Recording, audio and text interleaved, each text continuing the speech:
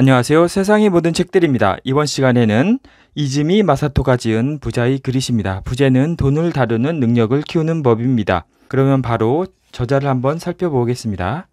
일본 최고의 경제금융 교육 전문가이자 일본 파이낸셜 아카데미 주식회사 대표, 고베 슈쿠가와 가쿠인 대학교 개공 교수를 지냈으며 교육, IT, 부동산 사업과 관련해 다섯 개의 회사를 경영 중이라고 합니다. 부자의 그릇은 소설 형식의 경제 경영 교과서로 한 젊은 사업가와 부자 노인의 이야기를 통해 돈을 다루는 능력을 키우는 법, 내 아내의 부자의 그릇을 키우는 법을 알려준다. 2015년 국내 출판 이후 수많은 독자로부터 꼭 읽어야 할 최고의 부자학 입문서로 꼽히며 스터디셀러로 자리매김했다. 이 책은 배달의 민족을 개발한 우한 형제들의 창업자 김봉진 씨와 배우 하정우 씨가 추천해가지고 유명한 도서고요. 이게 계속 스테디셀러에 올라와 있어가지고 저도 꼭 한번 읽어보려고 했는데 이번 기회에 읽게 되었습니다. 자, 그럼 바로 이 책의 내용을 살펴볼 건데요. 내용이 쉽고 평이하기 때문에 제가 인상 깊게 읽어본 부분을 살펴보는 형식으로 진행하겠습니다. 그러니까 편히 쭉 끝까지 들으시면 되겠습니다. 지금의 나에게는 충분한 시간이 있다. 하지만 나에겐 돈이 없다.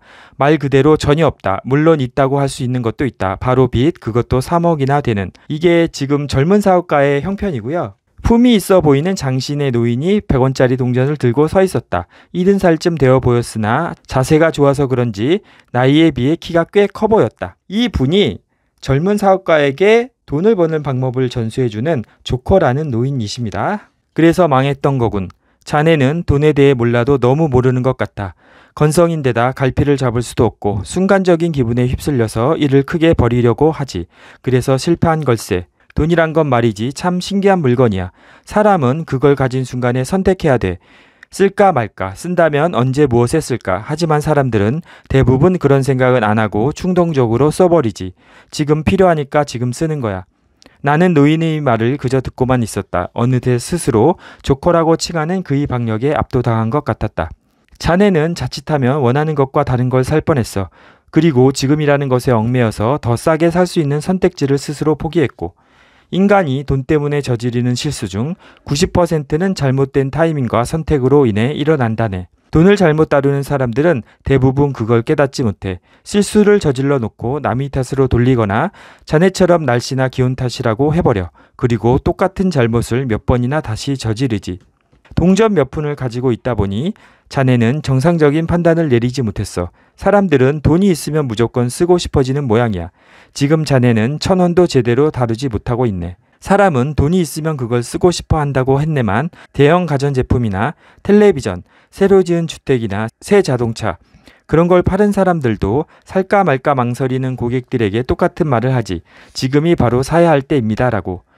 이 말은 마법과도 같아 망설이던 고객도 그 말을 들으면 지갑을 열거든. 지금이 바로 사야 할 때라는 말에는 두 가지 의미가 있어. 첫 번째는 고객이 상품을 원하므로 지금이 사야 할 때. 두 번째는 사회적 흐름이나 분위기로 볼 때 적절한 타이밍이므로 지금이 사야 할 때라는 뜻이지. 흔히 사람들은 저 상품보다 이 상품이 더 뛰어나서 선택했다고들 하지. 하지만 문제는 그 뛰어난 게 기능인지 가격인지 그것들을 뒤섞어 생각해 버린다는 거야. 그리고 돈을 아끼려다 별로 좋지 않은 걸 샀던 경험이 있다 보니 집이나 자동차처럼 큰 물건일수록 기능을 우선시해서 선택하려고 들어. 하지만 그렇게 사는 것들에는 대부분 그 가치 이상의 가격이 붙어 있어. 집이나 자동차를 예로 들어보지. 그것들 모두 2년쯤 지났다고 생각해 보게. 그러면 중고나 구형이 되어서 2년 전보다 싸게 살 수 있다는 걸 알면서도 사람들은 지금 돈을 더 지불하는 쪽을 택해 돈을 더 내므로써 잘못된 선택을 하고 있지 않다는 안도감을 사는 거야. 정말로 물건의 장단점을 보고 고르는 게 아니란 말일세.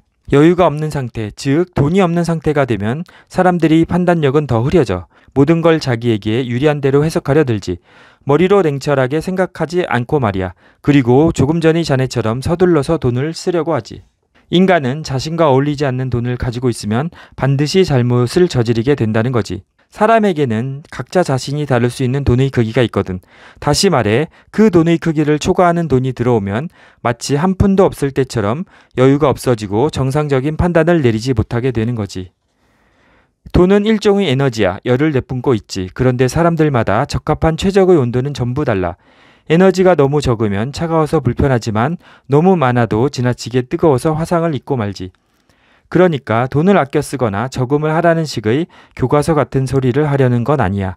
돈이라는 게 다루기 쉽지 않다 보니 많은 사람이 여차할 때를 대비해 저금하라는 말을 많이 할 거야. 또 일본 사람이라면 그런 말을 들으며 자랐을 테고 이 나라는 저축 금액이 거의 1경원에 달하른다고 하지 않나. 결국 그만한 돈이 그냥 잠들어 있단 말이지. 하지만 돈을 다루는 능력은 많이 다루는 경험을 통해서만 키울 수 있어. 이건 결론이야. 처음에는 작게 그리고 점점 크게. 자네에게 돈을 가져오는 건 반드시 자신이 아닌 다른 사람이야. 금리는 자네의 신용도를 나타내는 한 예에 불과하지. 즉, 남이 자네를 어떻게 보는지가 자네의 통장에 나타난다는 걸세. 돈이 만능은 아니지. 하지만 돈을 다루는 방법을 바꾸면 인생도 바꿀 수 있어. 부자는 신용의 힘을 알고 있어. 그래서 반드시 약속을 지키려고 하고 남의 믿음에 부응하려고 하지. 돈은 남으로부터 오는 거니까. 마침내 신용은 커다란 돈을 낳고 그 사람이 가질 수 있는 돈의 크기도 자연히 커져. 그러면 또다시 신용도가 상승하는 구조인 거야. 사회에서 돈은 커다란 흐름과도 같아. 그 흐름을 힘껏 끌어당기려면 우선 신용을 얻는 게 중요해. 신용이 있으면 돈이 먼저 다가오지. 돈이 없는 사람은 의심이 많아서 좀처럼 남을 믿지 않고 흠부터 찾으려고 하지. 남을 믿지 못하면 신용을 얻지 못하는데도 말이야. 자연히 돈은 그 사람을 피해서 돌아가게 되고 신용도라는 건 그 사람의 인격에 비례한다고 보네. 자네가 상대를 믿지 않으면 상대도 자네를 믿지 않아. 신용이 돈으로 바뀌면 믿어주는 상대가 있는 것만으로도 재산이 되지. 나는 노인이 한 말들을 떠올렸다. 인간이 돈 때문에 저지르는 실수 중 대부분은 잘못된 타이밍과 선택으로 인해 일어난다. 사람마다 다룰 수 있는 돈의 크기가 다르다. 돈을 다루는 능력은 많이 다뤄봐야만 향상된다. 돈은 그 사람을 비추는 거울이다. 돈은 신용이 모습을 바꾼 것이다. 모든 책이 결국 하는 소리는 다 같았죠. 무조건 빨리 시작해야 한다. 그리고 하나 더. 그들이 공통으로 말하는 성공 비결에는 좋아하는 일을 해야 한다는 것이었습니다. 하지만 저한테는 시간 가는 줄 모르고 빠져들 만큼 좋아하는 일은 없었습니다. 좋아하는 걸 하라는 건 사업을 시작하면 생활이 온통 그것이 중심이 되기 때문이야. 정말 좋아하지 않으면 해나갈 수 없거든. 돈이 지닌 서로 다른 이면의 의미를 정확히 알면 자네는 반드시 재기에 성공할 거야. 부자가 생각하는 리스크는 뭐라고 보는가? 음, 뭘까요? 돈을 잃는 것 아닐까요? 아니, 오히려 그 반대야. 부자가 두려워하는 건 돈이 늘지 않는 리스크라네.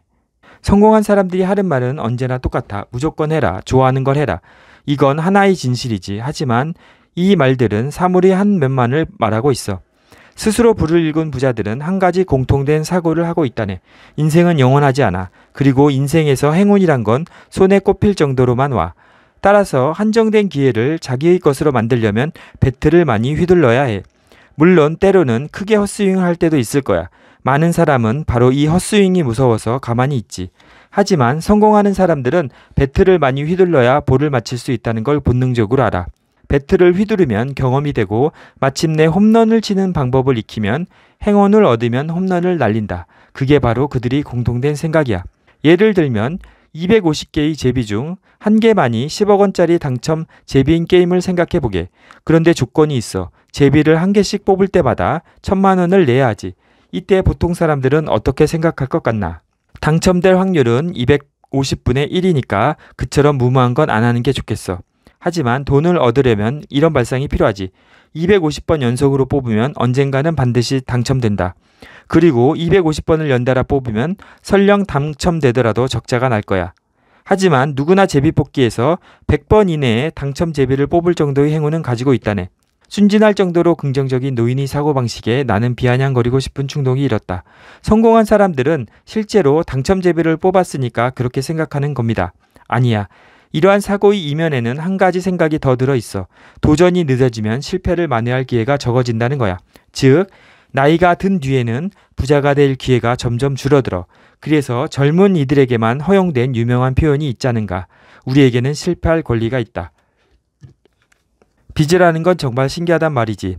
사람에 따라서는 계속 얻는 편이 좋다는 사람도 있고 빚이라면 무조건 싫어하는 사람도 있어. 그런데 말일세 사람들은 회사가 문을 닫거나 개인이 자기 파산하는 원인이 빚 때문이라고 생각하지만 사실은 수중에 돈이 없어지기 때문이야. 사실 이는 경영하는 사람에게는 당연한 말이야. 그런데 보통 사람들은 실패를 빚 탓으로 돌리고 생각을 멈추지. 빚을 진 것 자체를 나쁘다고 생각하거든. 그러나 실제로는 빚 덕분에 도산을 면하는 회사도 아주 많이 존재한다네. 특히 일본인은 빚을 싫어한 나머지 돈의 성질에 대해 배울 기회까지 잃고 있어.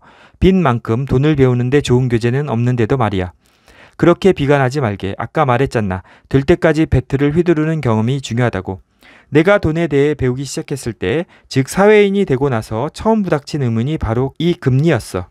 부채 금액은 균형을 보고 정하고 금리는 그 돈을 조달하기 위한 비용이라고 생각하면 가장 합리적이다. 다시 말해 부채는 재료, 금리는 조달 비용이라고 생각하는 거지. 돈이 움직일 때는 반드시 겉과 안 양면이 있기 마련이지. 지불하다, 받다, 빌리다, 빌려주다, 베풀다, 베품을 받다. 돈과 인연이 없는 사람은 이 두 가지 의미를 금방 잊어버려. 하지만 양면성을 정확히 파악하면 앞으로 빚 때문에 고민하는 일은 없을 거야. 그러나 정확하게 파악하지 못하면 화상을 입기도 하지. 자네는 왜 빚을 싫어하는 건가? 결국 제 돈이 아니라는 점이 가장 싫습니다. 금리를 지불해야 한다는 건 언젠가 빚을 갚아야 한다는 걸 의미하지 않습니까? 마치 계속 끈달린 돈을 쓰는 듯한 느낌입니다. 오호, 끈달린 돈이라 재밌는 표현이구먼. 그러면 그 끈은 누구의 것이지? 그건 돈을 빌려준 사람의 것이죠. 만약 은행이라면 은행의 소유자가 아닐까요? 그렇군. 그렇다면 은행이 소유한 돈은 모두의 은행 것인가? 바꿔 말하면 은행의 돈은 누구 것이지? 음, 예금자 아닌가요? 이제야 나는 그 구조에 의문이 들기 시작했다. 빚을 지는 게 싫다면 분명 남에게 빌려주는 것도 싫어할 거야. 하지만 그런 자네도 여윳돈이 생기면 은행에 맡기려고 하지 않는가? 은행은 돈을 맡으면 금리를 붙여서 자네에게 돌려줘야 해. 은행의 입장에서 예금은 곧 빚인 셈이지. 은행은 그 맡은 돈을 사업자에게 빌려줘서 금리를 받고 그 일부를 예금자인 자네에게 지불하고 있어. 맞아. 머리가 혼란스러운 이유는 자네가 돈을 소유할 수 있는 것으로 여기기 때문이야. 돈을 계속 소유할 수 있는 사람은 없어. 전 세계에서 돌고 도는 돈은 지금이라는 순간에만 그 사람의 수직에 있는 거야. 원래 계속 소유할 수 없는 걸 소유하려 하니까 무리가 발생하는 거고 그래서 돈을 쓰는 방법을 배워야 한다는 걸세. 부자들은 돈을 소유할 수 없다는 걸 알기 때문에 일정한 규칙에 따라 사용하고 있어. 예를 들어 A라는 사람이 B라는 사람에게 돈을 빌려줬다고 생각해 보게. B는 A에게 금리를 지불해야 하지만 그 빌린 돈을 C라는 자에게 더 높은 금리로 빌려주면 B에게는 그 금리의 차액이 자신이 이익이 되지. 은행이 하는 마법의 연금술이네요. 사실 사람들이 빚을 싫어하는 이유는 윤리적인 면 때문일 거야. 그런데 사실 B는 C의 신용도를 판단하는 능력만 갖추고 있으면 돼. 소유할 수 없는 돈을 쓰려면 우리는 신용과 똑같이 가치에 대해서도 배울 필요가 있어. B가 은행이 아니라 개인이라면 이런 경우도 있을 거야. C에게 돈을 빌려주는 게 아니라 D라는 물건을 사는 거지. 네, 개인이라면 그런 경우가 더 많은 것 같습니다. D로는 집이나 자동차, 가전제품 등 뭐든 상관없죠. 이 상황은 C에게 높은 금리로 빌려주는 경우보다 훨씬 판단하기가 어려워. 하지만 이 선택이 부자와 가난한 사람을 나누는 분수령이 된다네. 부자는 C에게 돈을 빌려줬을 때 받는 금리와 똑같은 효과를 D라는 물건으로부터 얻기를 원해. 다시 말해, 산 뒤에 가격이 상승하기를 바란다는 거야. 하지만 일반 사람들은 가치를 생각하지 않고 돈을 물건으로 받고 그걸 소유하는데 얽매이지. 그리고 물건의 가격에는 별로 구애받지 않아. 왜냐하면 소유가 목적이니까. 가치는 크게 두 가지로 나눌 수 있어. 사용 가치와 교환 가치지. 사용 가치는 개인적으로 추억이 담긴 물건도 되고 좋아하는 사람한테 받은 선물도 될 수 있어. 이것이 자네가 말하는 개인의 가치관에 따른 물건을 말해. 하지만 내가 말하는 가치란 교환 가치야. 시장에 내놓았을 때 가격이 어떻게 붙을지는 아무도 몰라. 그런데 부자라고 불리는 인종들은 이 가치를 분별하는 눈이 있어. 이 눈이야말로 부자와 빈자를 나누는 능력이 되지. 지금은 가격이 낮아도 가치만 있으면 언젠가 가격은 상승하기 마련이거든. 앞서 신용이 있으면 다룰 수 있는 돈의 크기가 커진다고 했잖나. 가치를 분별하는 힘이란 상대방이나 물건을 신용할 수 있는지 분별하는 힘을 의미해. 즉, 이 또한 안과 받기라 할 수 있어. 내가 신용을 받는 것도 중요하지만 상대방이나 물건을 믿을 수 있는지 분별하는 힘도 중요하거든. 투자를 결정할 때 내가 어떤 걸 따져볼 거라 생각하나. 사업의 장래성 아니면 이윤이 얼마나 큰지 물론 그것들도 모두 중요하지만 가장 중요한 건 신용이야. 신용이 돈을 낳으니까 말일세. 그렇다면 부자는 무엇을 보고 그 사람의 신용을 판단할까? 바로 투자 대상의 지닌 경력이야. 그 사람의 과거, 즉 어떻게 계획을 세워 실행하고 결과를 내왔느냐가 더 중요하지. 여기서 핵심은 설령 실패한 경험이 있어도 괜찮다는 거야. 그리고 곰곰이 잘 생각하고 실행하는 경험이 곧 신용이 된다는 걸 잊지 말게. 물론 여기서 결과까지 좋으면 나무랄 데 없어. 여기서 빚에 대한 개념과 그 다음에 그 빚을 가지고 투자를 어떻게 해야 되는지에 대한 개념이 나오거든요. 이 부분이 되게 중요한 것 같습니다. 자네는 특별히 멍청하지 않아. 자네는 특별히 멍청하지 않아. 돈에 지나치게 휘둘렸을 뿐이야. 그건 누구나 피할 수 없는 함정과도 같지.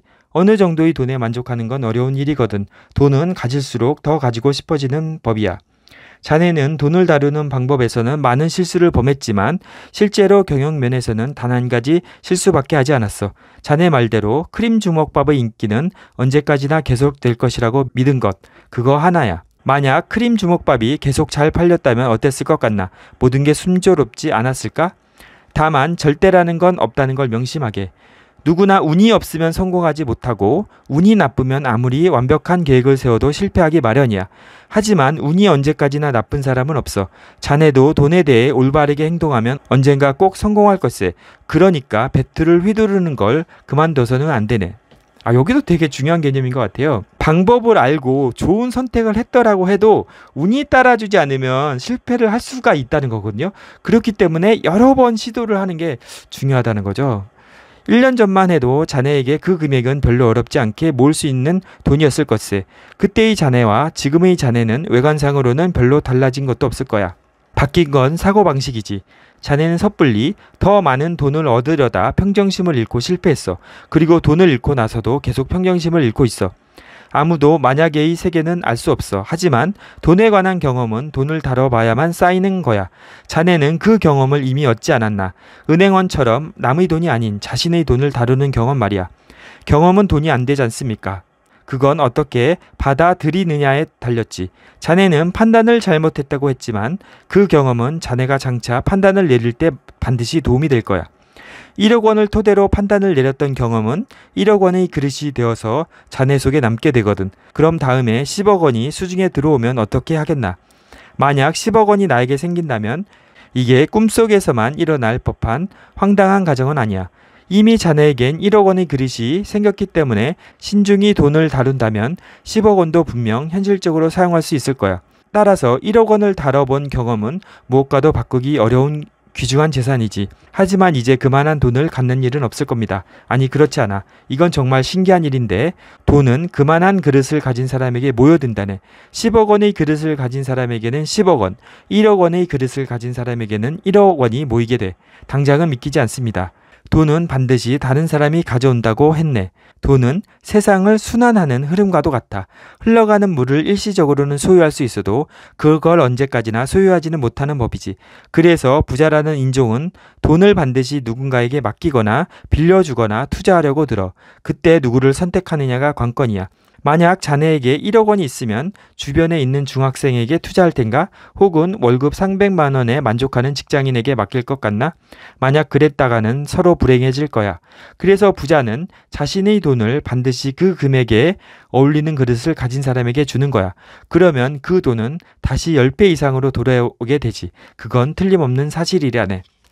어, 여기도 되게 좋은 내용인 것 같은데요. 그러니까 투자를 할 때도 자신이 천만 원의 그 투자 금액을 굴릴 때와 1억 원 이상의 투자 금액을 굴릴 때는 이 자기가 가지는 이 심리적인 압박감이 완전히 다르거든요. 이것처럼 그 돈도 자신의 그릇이 커야 더 이렇게 모이는 그런 특성이 있다는 얘기를 여러분들이 그렇게 하시네요. 그렇기 때문에 그 큰 돈을 한번 굴려본 경험이 있으면 그 실패를 했더라도 그게 되게 귀중한 자산이 된다고 그렇게 얘기를 하십니다. 이렇게 제가 그 소설이기 때문에 실제 그 소설의 내용은 스포를 안 하는 한에서 제가 인상 깊게 읽었던 부분을 설명해 드렸고요. 에필로그에 이 저자가 자신이 생각하는 중요한 부분을 정리를 한번 해 주시거든요. 이 부분을 한번 살펴보겠습니다. 에필로그 자신의 그릇을 키우고 돈과 인생의 주인이 되는 법. 우리가 매일 취급하는 돈. 하지만 일본에는 돈의 본질에 대해 이야기하는 문화가 없다. 그래서 나는 오래전부터 사람들이 돈의 본질에 대해 자유롭게 이야기하는 계기를 만들고 싶었다. 여기서는 개인적으로 강조하고 싶은 말들을 정리해 보고자 한다. 돈은 그 사람을 비추는 거울이야. 나는 이것이야말로 돈의 본질을 가장 잘 드러내는 말이라고 생각한다. 돈을 어떻게 쓰는지를 보면 그 사람의 습관, 라이프 스타일, 취미와 취향 등을 모두 알 수 있다. 시험 삼아 한 달 동안 자신이 사용한 돈의 영수증을 모아서 누군가에게 보여줘 보라. 아마 그들은 당신의 식생활, 행동 범위, 취미, 성격까지 유추해 낼 것이다. 즉, 돈이란 개인의 사고와 행동의 결과가 그대로 드러난 산물이다. 당연히 우리 사고방식에도 크게 영향을 미친다. 예를 들어, 저금을 많이 하는 사람은 자기 관리 능력이 높다고 해석할 수 있다. 또한 음반에 쓰는 돈의 비중이 높은 사람은 음악을 특히 좋아하며 취미 생활을 중시한다고 볼 수 있다. 높은 수익을 얻는 사람은 오랫동안 실력을 갈고 닦으며 열심히 노력해 왔다는 걸 알 수 있다. 반면 겉으론 세상에 도움이 되고 싶다고 떠들면서 자신만을 위해 돈을 쓴다면 그 사람의 말은 설득력을 잃을 것이다.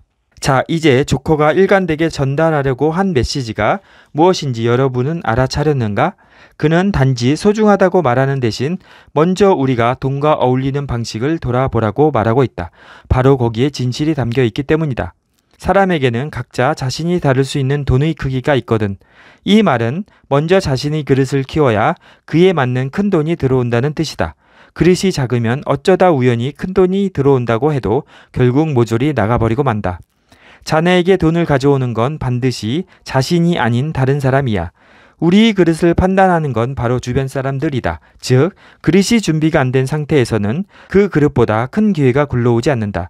역으로 해석하면 우리가 해결하지 못하는 문제는 우리에게 오지 않는다고도 볼 수 있다. 실패란 결단을 내린 사람만 얻을 수 있는 거니까. 일반적으로 수입이나 돈이 크게 줄어들면 실패했다고 말한다. 하지만 거기에서 얻을 수 있는 경험의 가치는 사실 잃어버린 돈보다 훨씬 크다.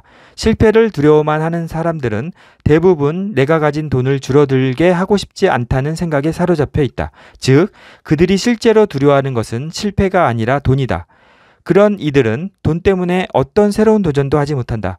조커는 그렇게 돈의 지배를 받고 사는 사람들에게 자신이 지금 돈을 어떻게 다루고 있는지 돌아보라고 간곡하게 말한다. 나는 자네에 대해 유치했지. 분명히 돈의 지배를 받고 있을 거라고. 마지막으로 조커가 강하게 전하고자 한 메시지는 편지에 적혀 있던 바로 이 말이다. 돈의 많고 적음에 따라 사회적 지위가 결정되고 돈 때문에 가정이나 사랑, 우정이 깨질 수 있다는 불안감, 돈을 얼마나 가졌는가가 인생의 성패를 좌우한다고 여겨 결국 돈보다 중요한 가치는 전혀 보이지 않게 되는 두려움. 그 모든 것들이 이 한마디에 담겨 있다. 나와 일 중에 뭐가 더 중요해? 라는 물음은 연인 사이에 종종 오간다. 정답은 뭘까? 당연히 사랑과 일 둘 다 중요하다. 즉, 삶의 질을 높이려면 그중 어느 하나만 선택하는 게 아니라 반드시 두 영역을 모두 향상시켜야 한다. 그러기 위해서는 돈의 본질을 깨달아야 하는데, 그래야 돈에 지배당하지 않고 사이좋게 공생하는 힘을 얻게 된다. 돈이란 신용을 가시화한 것이다. 조커가 당신에게 돈을 가져오는 건 반드시 자신이 아닌 다른 사람이라고 말했다. 돈은 신용이 있는 사람들에게만 전달된다. 그리고 신용이 높으면 그만큼 많은 돈이 기회라는 얼굴로 접근한다. 신용은 지난 행동들의 결과이고 지난 행동은 하루하루 사고해온 결과다. 요컨대 하루하루의 사고가 행동을 만들고 그 행동이 신용을 만들며 그 신용이 결과적으로 돈이라는 형태로 나타나는 것이다. 학교에 가서 공부하고 친구들과 약속을 지키고 직장에서 착실하게 일하는 건 모두 신용을 얻기 위한 행동이다. 그렇게 얻은 신용은 돈이라는 형태로 남고 그 돈은 인생의 선택지를 늘려주는 도구가 된다. 그렇게 삶에서 유용하게 쓸 수 있는 도구가 증가하면 우리는 한층 더 알찬 라이프 스타일을 실현할 수 있다. 누구나 평생 함께 어울리는 돈, 의무 교육을 통해서는 쉽게 배우지 못하는 돈에 대한 지식을 올바르게 깨치는 것이 우리 인생을 여유롭게 만들어줄 뿐 아니라 더 나은 인격을 만들어준다. 자, 이렇게 마지막에 저자가 하고 싶은 얘기까지 살펴보았습니다. 이 책은 소설 형식으로 되어 있기 때문에 되게 술술 잘 읽히고요. 그리고 소설임에도 불구하고 어떻게 하면 돈의 그릇을 키워서 부자가 되는지에 대한 방법도 어, 설명해 주고 있습니다. 되게 재미있게 읽었고요. 부자가 되는 방법을 얻고 싶으신 분들은 한 번쯤 읽어보시길 추천드리겠습니다. 이번 시간 영상이 도움이 되셨거나 다음 시간 영상이 기대가 되신다면 좋아요와 구독, 알람 설정까지 부탁드리겠습니다. 그리고 내용이 좋으니까 여러분들한테도 소개시켜 주시면 감사하겠습니다. 긴 시간 동안 시청해 주셔서 감사하고요. 다음 시간에 좀 더 좋은 영상으로 찾아뵙겠습니다. 감사합니다.